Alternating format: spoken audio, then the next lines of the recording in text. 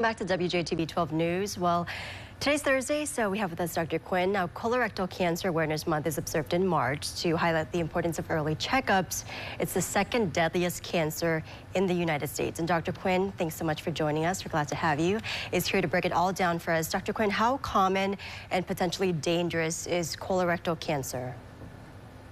I cannot overemphasize how common and dangerous colorectal cancer is. Just looking at some figures from the American Cancer Society, it's estimated in 2023, this year alone, we're looking at 150,000 Americans being diagnosed with colorectal cancer.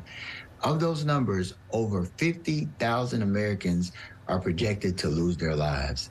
So, as far as colorectal cancer, as far as how prevalent it is and how dangerous, it's very common and very dangerous. And I so appreciate the opportunity to bring this subject to light. So, Dr. Quinn, with that, what methods are used currently for screening?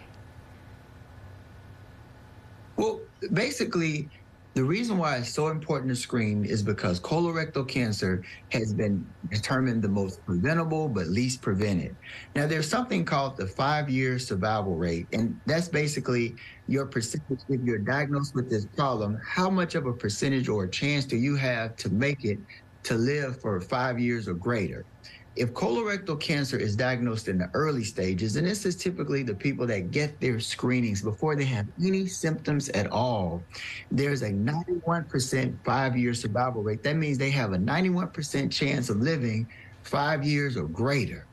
But if it's diagnosed in the later stages, such as stage four, which is the late stage, and usually these people will have symptoms and they did not get their screening when it was time to get the screening. And right now it's all the way down to 45 years of age for people that have no un, unforeseen risk factors, then that is diagnosed at the later stage, and the five year survival rate is all the way down to 14%, meaning they only have a 14% chance of living five years or greater. That's why it's so important that we get those screenings, not wait for symptoms, but at age 45, we talk to our medical provider and discuss what's our best option to get that screening. Of course, early detection is is key, Dr. Quinn. Thanks so much for that. Um, if you could just stress again why this cancer, again, is just so important to be screened for in comparison to, you know, the other types of cancers. Right, because as I said, colorectal cancer, if it's diagnosed early, you have so much of a better chance of getting it diagnosed at a point where treatment is so much more effective.